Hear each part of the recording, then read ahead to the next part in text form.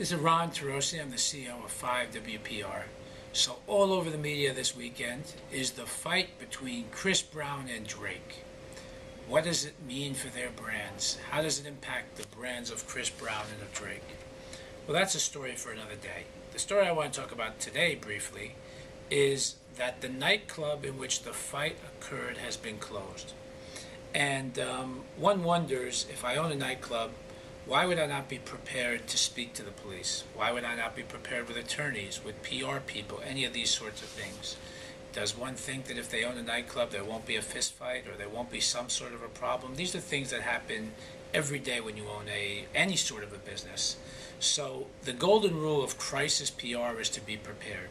Whether I was representing Chris Brown or Drake, we're not representing either of them, or you're representing a nightclub, or any sort of a business, you should always be prepared because for any line of business that you're in today, your business is forever changed with the snap of a moment. This incident, the business was forever changed by somebody throwing a bottle across a room.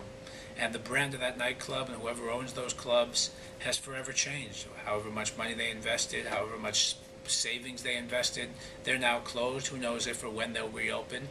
And um, the golden rule, really, of crisis PR is to be prepared.